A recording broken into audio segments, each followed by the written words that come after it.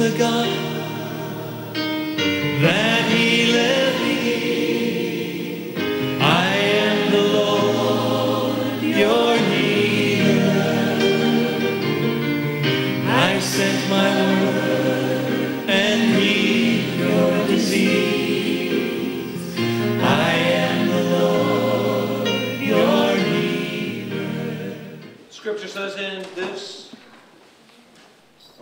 God was manifested towards us.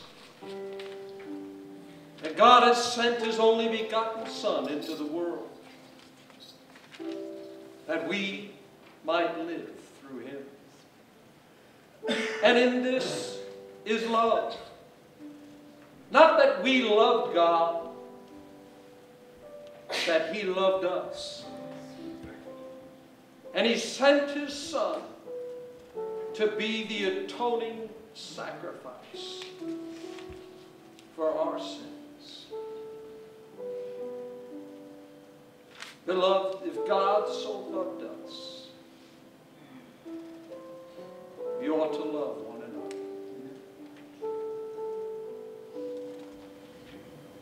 I can hardly think of words that can describe such. I was far from God. In all my ways, my words and my actions, I was so far. As a young man, God got a hold of me. I didn't know what it meant to be born again. I didn't know that I could have a relationship with Him. I never suspected that God had a plan for my life. When I was a sinner,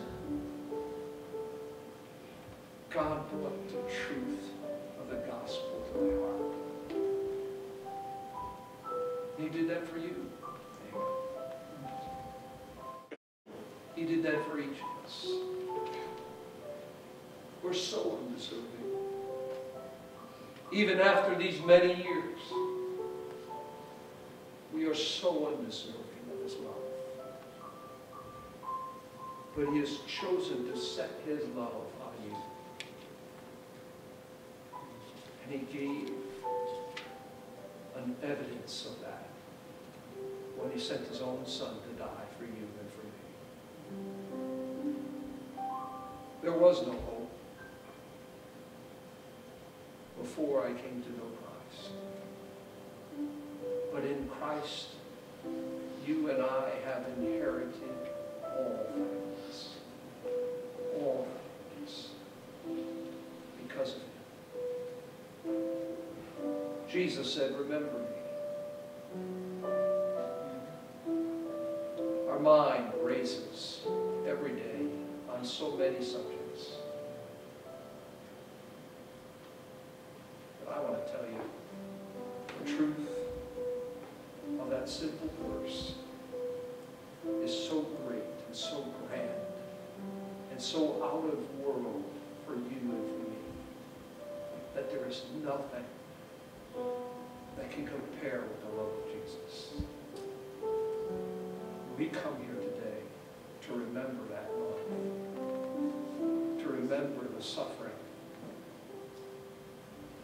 He received in his body for my sin and for yours. We gather here. We come here to remember, to give thanks, to lift up our voice and our hearts to him.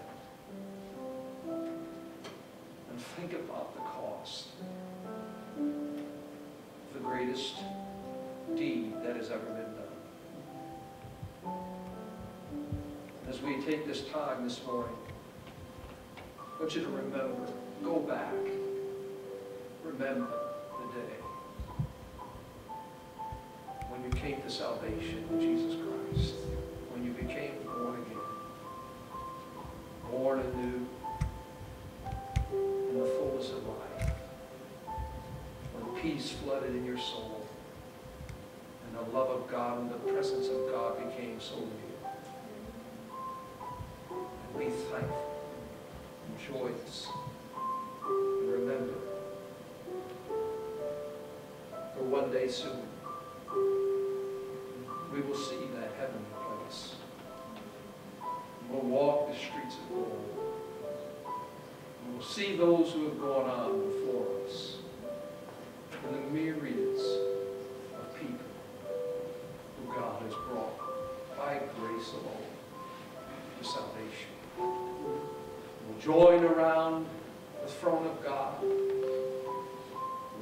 our voices, our hearts and our hands. We will sing of the praises of Jesus.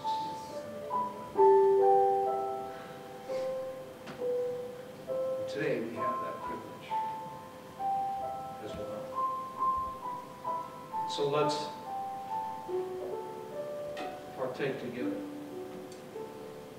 Let's give thanks.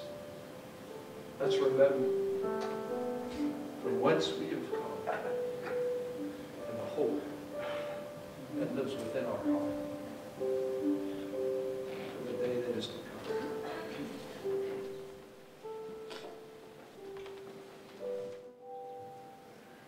Jesus said, remember me. Don, you pray over these emblems as we gather together today and give thanks. Father, we thank you for these emblems which represent the blood and the body of Christ. We are so grateful for the work that you have accomplished through your Son. Not a martyr, but a sacrifice, a Savior, a payment for our sins, for our debt, for our failures. Yes, Father, it also means in my heart today, victory. Yes. Lord, that it's not a victory that you won for yourself because you have never lost. You've never failed. You've always won. Yes. But a victory for us. Yes. A victory that we can't measure because it's so great, so grand. It will take all of eternity to know how much of a victory you have purchased for us. Yes. So we can live victoriously and live in a way that the faults and failures and, and all of the disgrace, all that, Lord, is washed away by your sacrifice. Yes, And we're brought into a victory that is powerful and immeasurable. And we give thanks for it. In Jesus' name. Amen. Amen. Let's partake.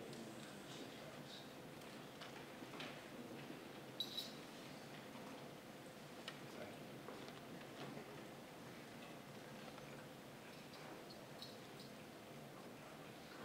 Thank you, Jesus. Thank you, Jesus. Well, praise the Lord. All right. How many of you want to enter into service today?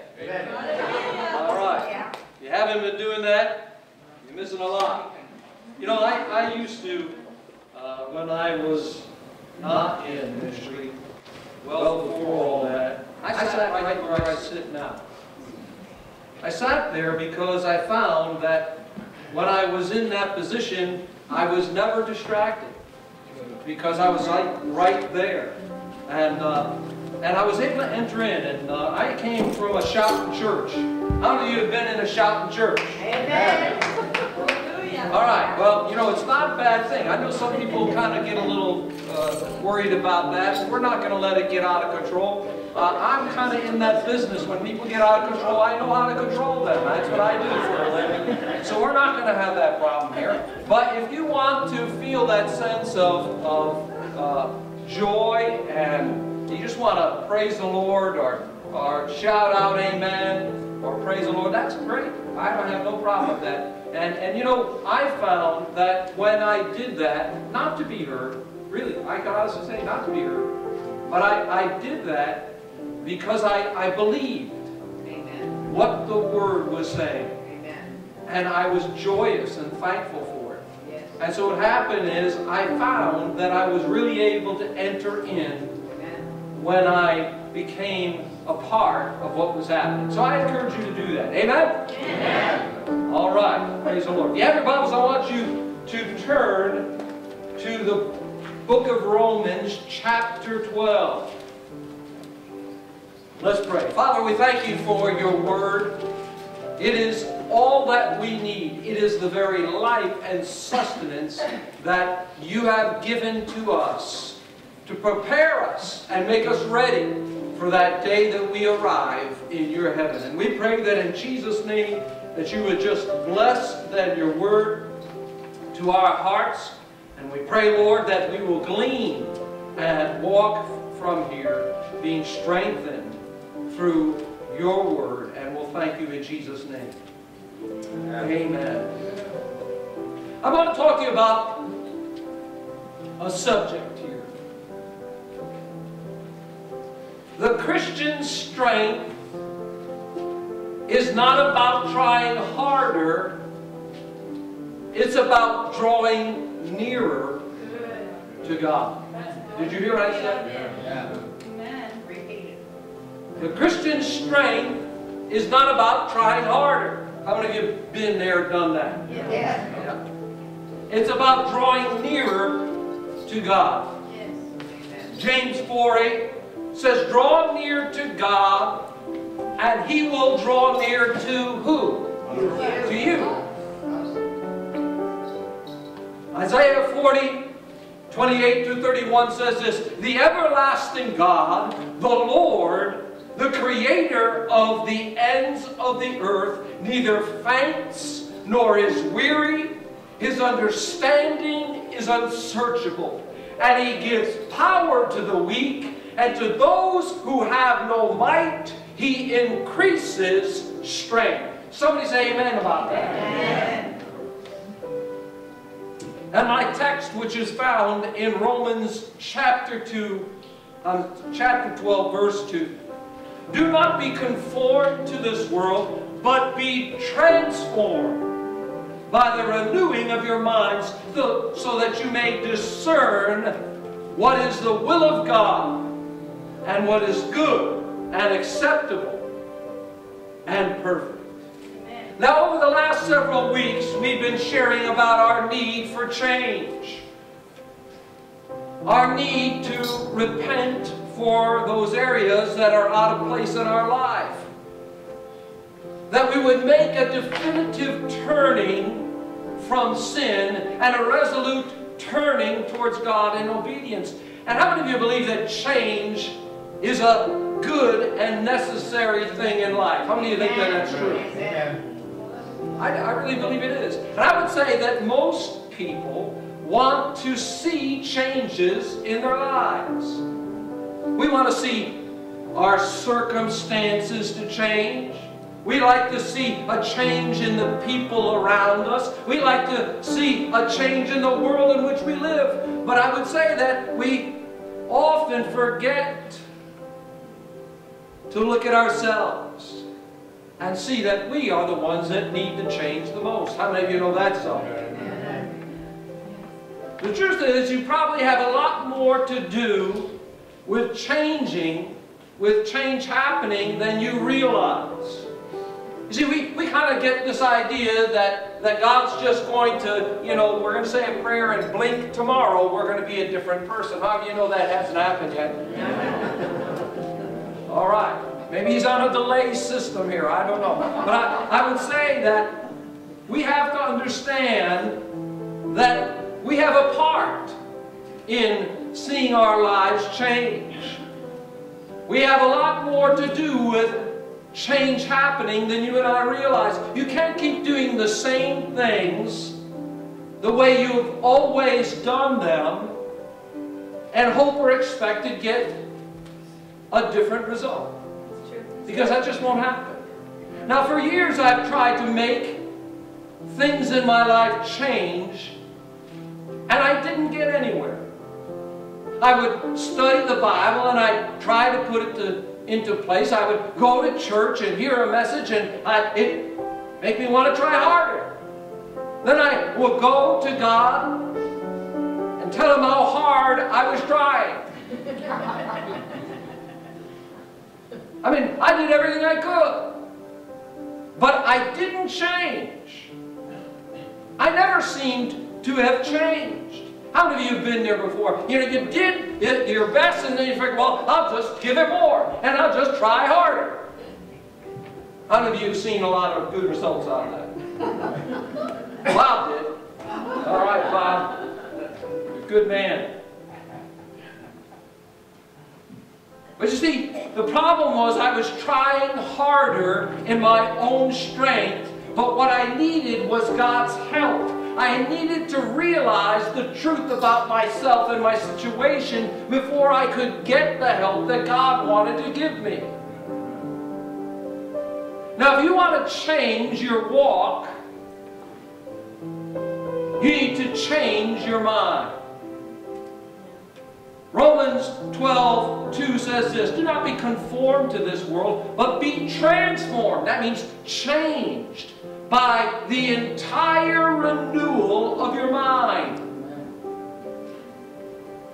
So that you may prove for yourselves what is the good and acceptable and perfect will of God.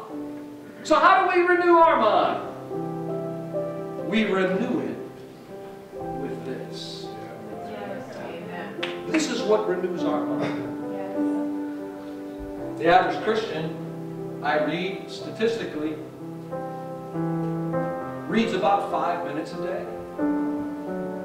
The average Christian picks this up and for the full time of maybe two commercials, he reads this Bible. See, God wants to renew our minds with His truth. And God's Word is full of life. It is full of power. It is full of the ability to change you and I. Now I want you to think for a minute about the inherent power that is in God's Word. I was reading Genesis this morning at 4 o'clock. And it said this in Genesis 1:14, and God said, "Let there be lights in the firmament of heaven to divide to divide the day from night, and let them be signs and seasons for days and years, and let them be for lights in the firmament of the heavens to give light on the earth." And catch the last four words. And it was so. God said, let there be light. And the universe was created by His command. Yes. His word Yes. created that. This is His word. That's right. Do you think there's a little power going on here? Amen. Do you think so? Yeah. You see, the power of God is found in His Word. And when we talk about change, we have to understand the dynamis power that is in God's Word to change us and make us anew. And you and I can hardly envision the power that is inherent in God's Word. I will tell you that when you and I step in the face of heaven's streets, we will see things that we never saw before. And wished we saw. And this is one of them. This book has the dynamic power of the Almighty God right here. Yes.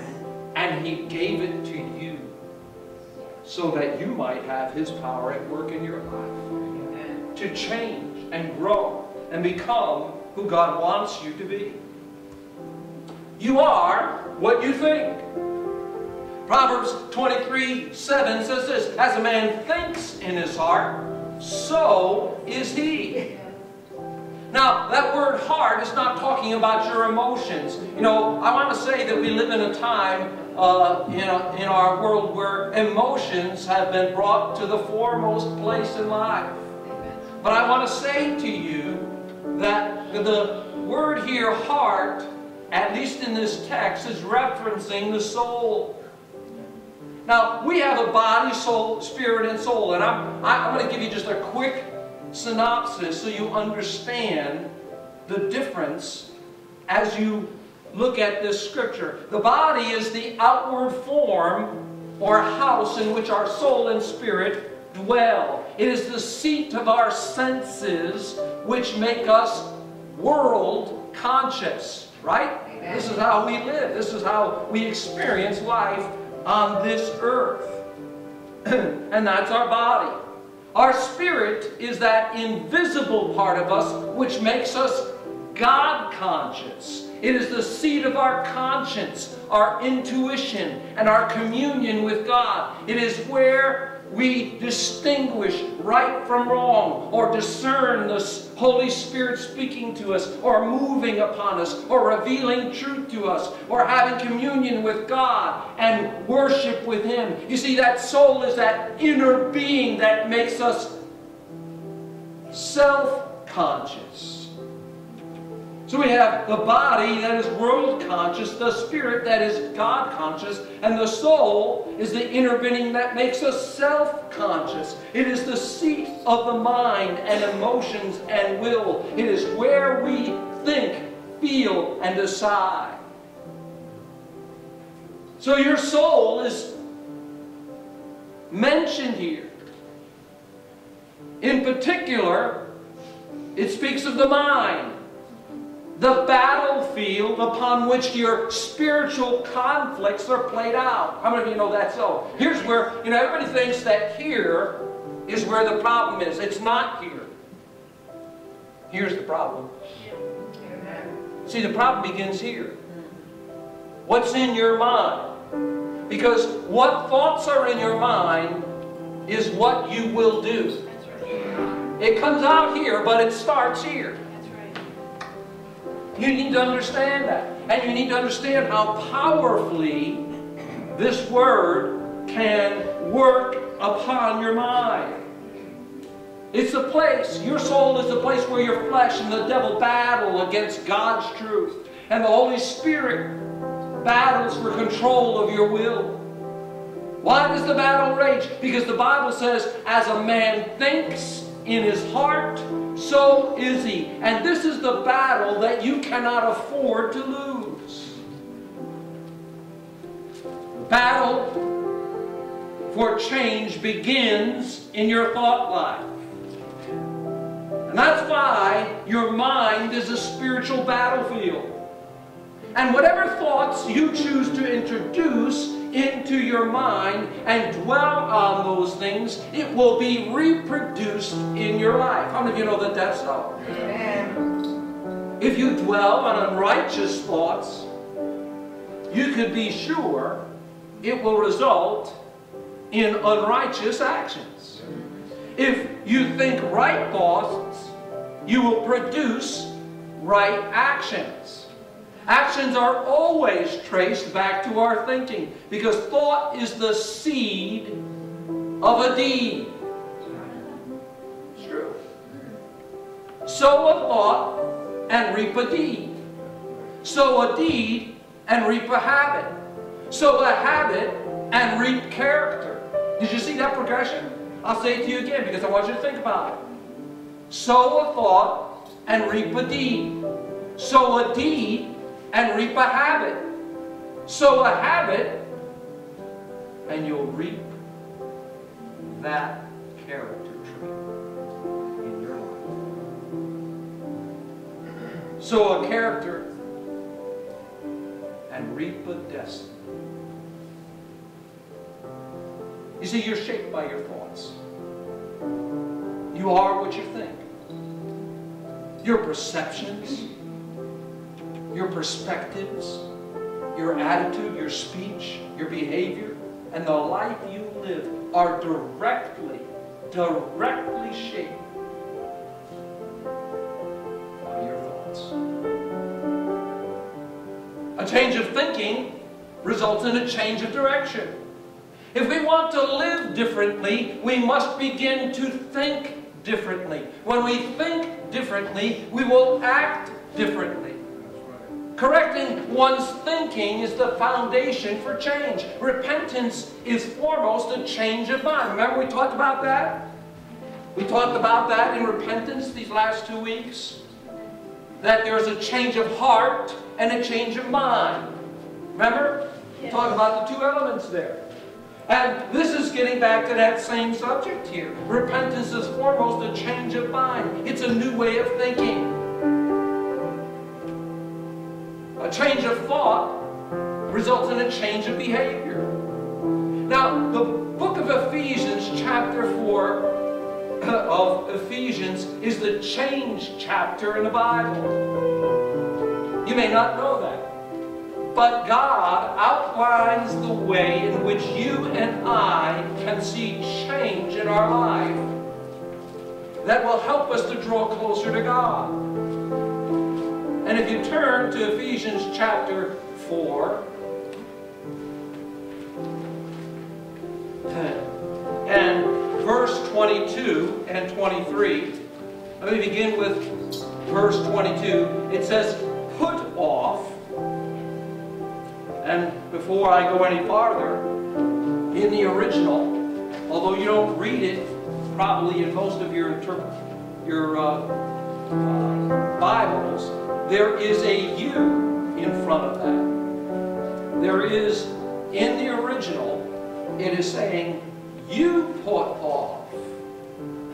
Concerning your former conduct, the old man, which grows corrupt according to deceitful lusts.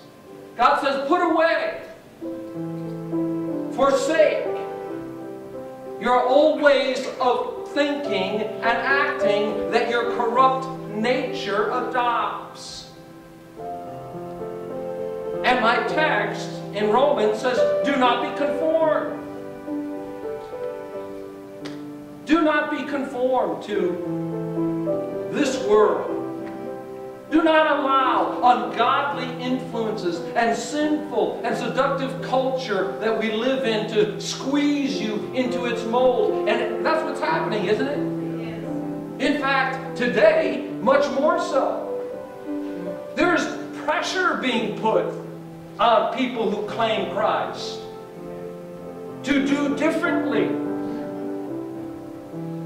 They want to squeeze you into that mold. And all that you see, the corruptive influences around us in, on the uh, television, in society, on the news services, on our TVs, all of these are messages that are sent. And it's sent right to your mind. And these thoughts are bombarding you, helping you or endeavoring to help you to go in the wrong direction. And God says, do not be conformed to these ungodly influences of this seductive culture. And tries to seduce and ensnare you. The minds and wills of Christians into thinking and acting like their contemporaries. Little by little, the current carries us a little farther. Have you seen that happen in your life? Have you seen that sometimes, you know, we don't make these big changes in our life. Usually change comes along in little ways. We make a little step here. But if we're allowing all these corruptions to fill our mind, well, you know what we do? We just take a little step. And probably a little, a couple weeks, a couple months later, we take just a little bit more. You know, before you know it, you and I are standing in an altogether different place. And it happens. And you don't recognize, you don't recognize the fact that even though you don't support what kind of lifestyle we see living in our in our present uh, social agenda. Nonetheless, I will tell you this, that the more you get exposed to it, what happens? You deteriorate a little farther and farther unless you are drawing closer to God, unless you are renewing your mind with this. Now, how many of you spend significant time in our present culture, just with working with other people and watching television or uh, being around people and conversation? You probably spend a number of hours every day, maybe many hours every day. So you have these influences coming into your life. And then you go home and you pick your Bible up and you read a couple verses. Ah, got that. All set. You see, we have to be careful because what happens is that we are allowing all this corruption to come into our mind try to lead us down all the wrong roads. And so we have to be careful. That's why he says, the scripture says, you put off concerning your former conduct the old man, which grows corrupt according to deceitful lusts. And do not be conformed. Do not allow those ungodly influences of this culture to squeeze you into its mold. That current that little by little carries you just a little bit further away than you ought to be. A change of thinking results a change results in a change of direction. You may say, well, what's wrong with my thinking? Why does my thinking need to be renewed? Well, here's another mine in the road. Your mind has a fallen bent. Now, if you look up that word bent in the original, what it talks about, a strong inclination to go in the wrong direction. Is that you? That's me. We all come to those places where our carnal self wants to send us in all the wrong directions. Now, I, I often, because I'm a simple-minded man, I often use simple examples. And you know, I grew up in a different culture, not like the uh, culture is today. When I was young, you had uh, Daffy Duck and uh, you had uh, all the Mickey Mouse and all those things, the culture we had. But uh, what I always saw, when Daffy Duck was out doing his thing, uh, you know, he would be tempted to act in a certain way. And all of a sudden, this this evil angel would, uh, I mean, an evil devil would stand on this side and say, ah, go do that. And then the angel would show up on the other side, no, don't do that. And, and here he is, he's going like this. But in, in a sense, it's very true. In a sense, we are always being bombarded.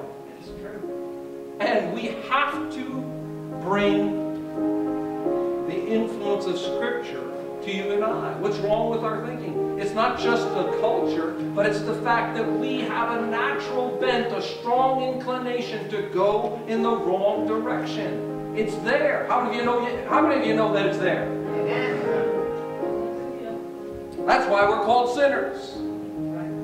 Our mind has a spirit. That is a mindset, a set way of thinking. And our minds are not by nature God worshiping minds. They are by nature self worshiping minds. Oh, I guess That is the spirit of our minds. And there's a natural bent or orientation. There's a natural man's thinking is always directed towards the things that pertain to the flesh. Our physical, our material, our emotional needs. Look at people around you. Maybe look at yourself. We value things that God doesn't necessarily value. We are brought to having the nice home, having the nice car, enjoying life, not working too hard so we can have recreation and enjoy ourselves. You see, what, where we go is a natural bent. It's the way our mind thinks. But Jesus said, from within for from within, out of the heart, proceeds evil thoughts. adulteries, fornications, murders, threat, thefts, covetousness, wickedness, deceit, lasciviousness, an evil eye, blasphemy, pride, foolishness. You see, all these things Jesus said is within the heart of man. And all these evil things come from within and they defile the man. That's what's wrong with our thinking. But our mind tends to suppress God's word. Romans 1:8, for the wrath of God is revealed from heaven against all ungodliness and unrighteousness of men who suppress the truth in unrighteousness. He said, well, that's talking about ungodly people. Yes, but you have to understand that there is still at work the influences of a fallen world that comes to bear on your mind every day. Right? Amen.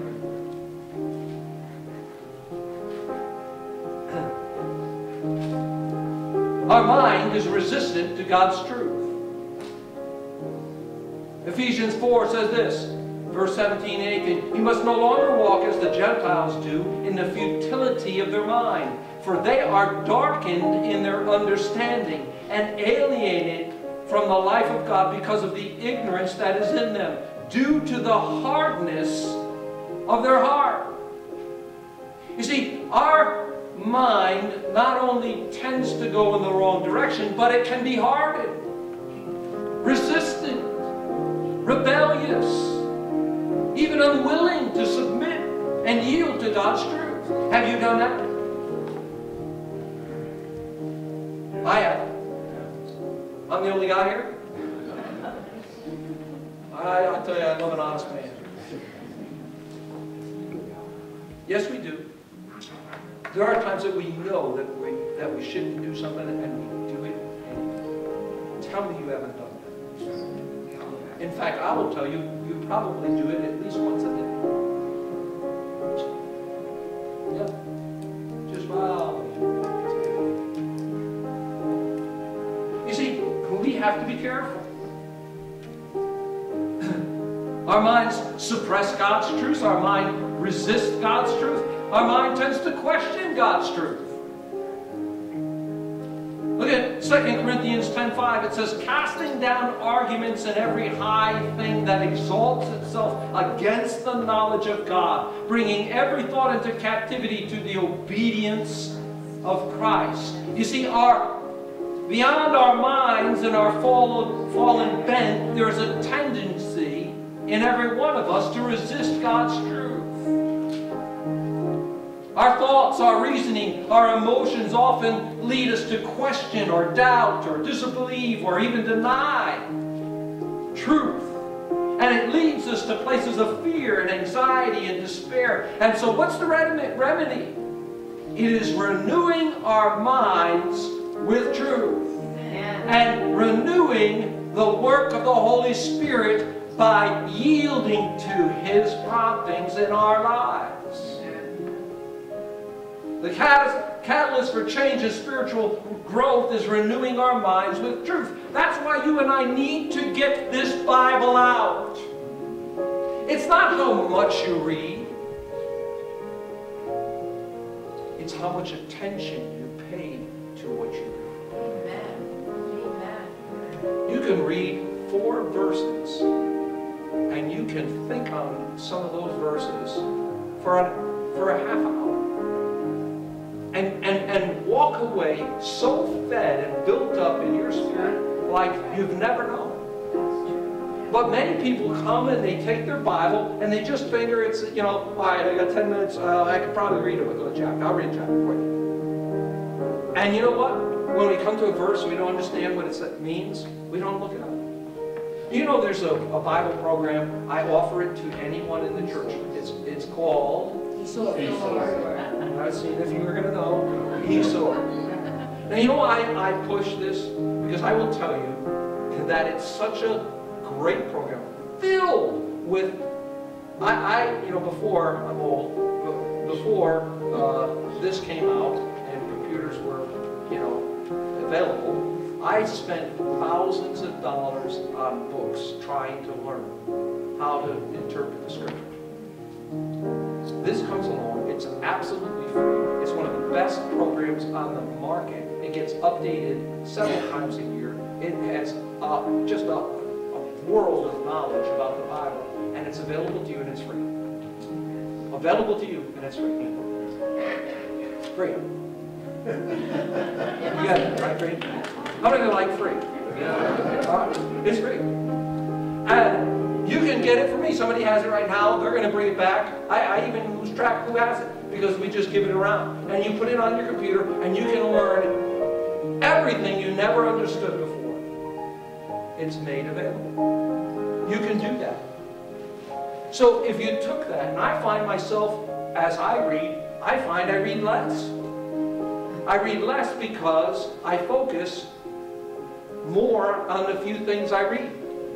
And I will tell you, I benefit much more than just to read and say I did it. I benefit because I begin, begin to stop at the scriptures I don't understand, and I get into eSword and I look up the keywords and I get a picture, and you always hear me, I say to you, in the original. How many times do you hear me say that? In the original, in the original. You can go back and you, you will see the fullness of God's truth. It'll blossom in front of you in a, in a way that you'll go. Your mouth will drop. The clarity of God's truth. And He'll build you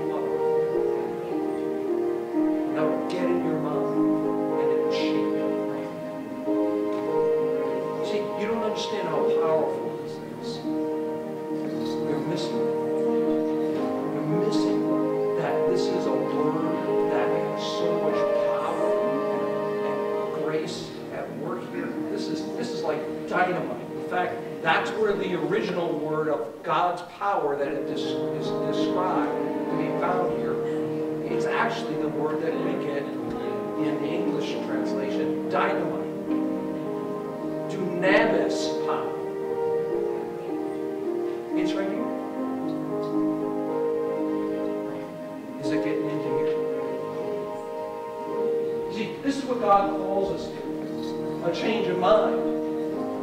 To be renewed, to be transformed. By the renewing of our mind with truth.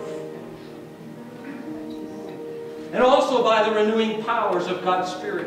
Titus 3.5 says, God saved us not because of the works done by us in righteousness, but according to his own mercy, by the washing of regeneration and the renewal of the Holy Spirit.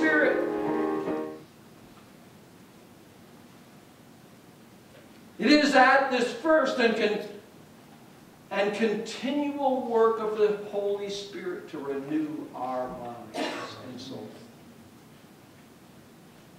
We are radically dependent on the Spirit of God.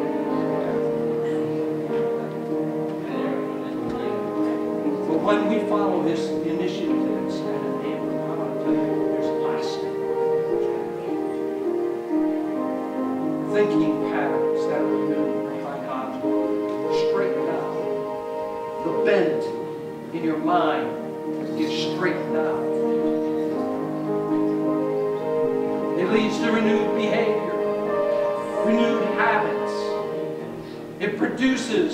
a new you. You habitually and naturally and unconsciously become more like Jesus. Morning.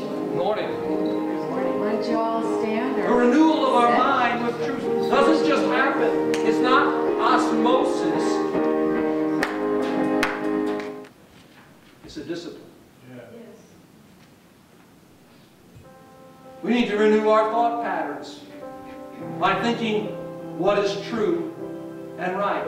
Philippians says, finally, brethren, whatsoever things that are true, and whatsoever things that are honest, and whatsoever things that are just, and whatsoever things that are pure, and whatsoever things that are lovely, or of good report, or of have any virtue or any praise, think on these things.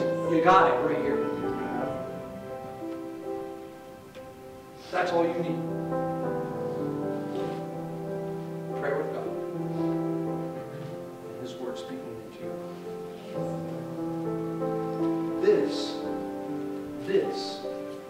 Change your thoughts. Your thoughts will change your behavior. And you will become a person. Hear what's right. Read what's right. Watch what's right. Associate with the right people. Your thoughts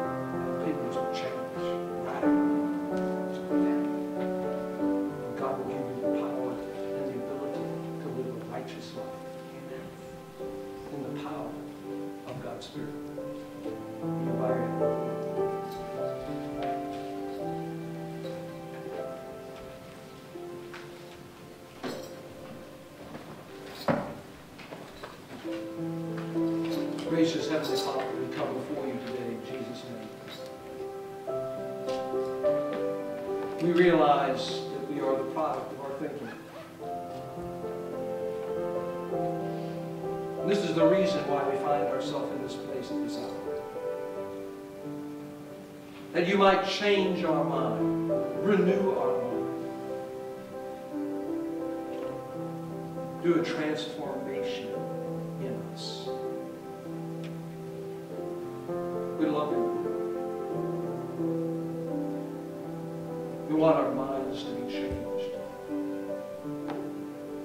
said, let this mind be in you, which was also in Christ Jesus.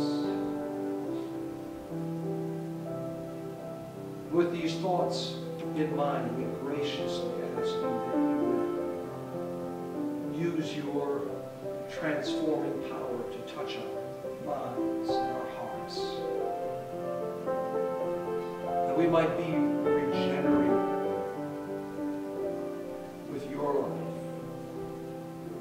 transforming power.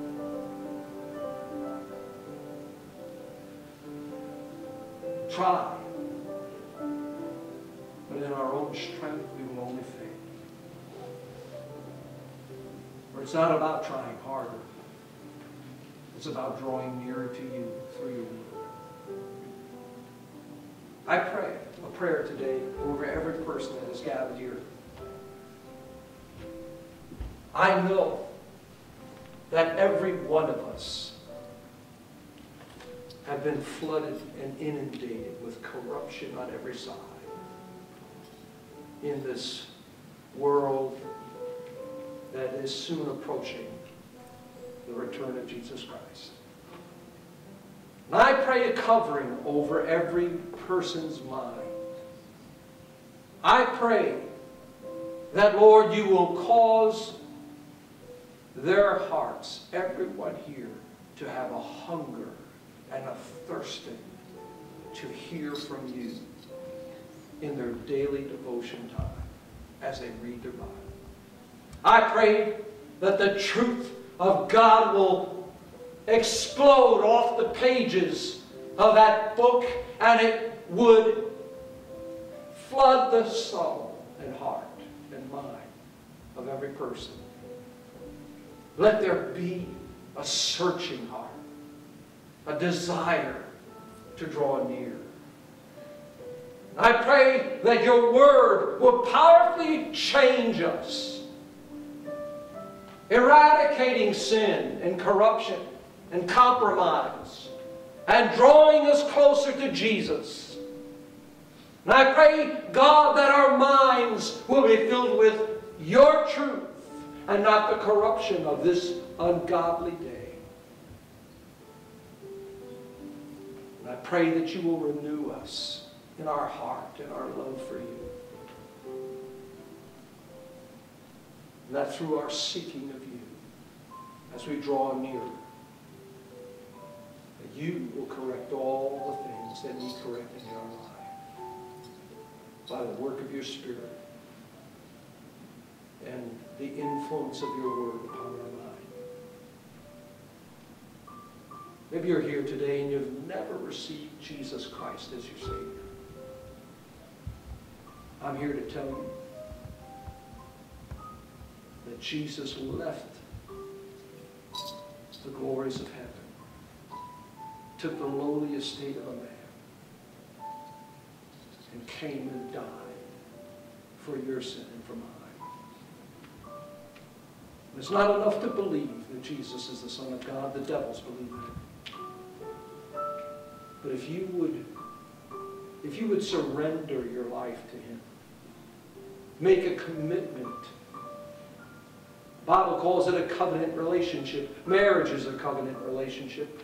It's a relationship that comes together when two people agree to form a relationship that will not be broken. That's what God calls us to. If you've never done that, I want to invite you to join in that covenant with God today. We're not talking about religion. It's not a church that saves. It's Christ that saves.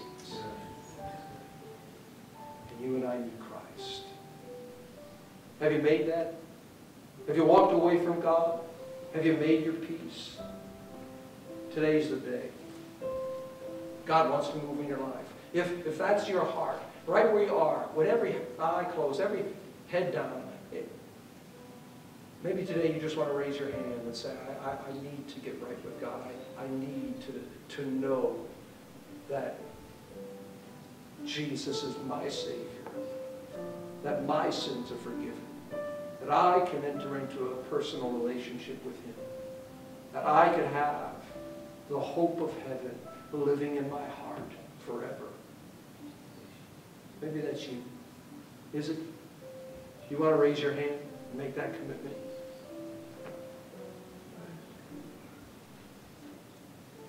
Will you stand with me?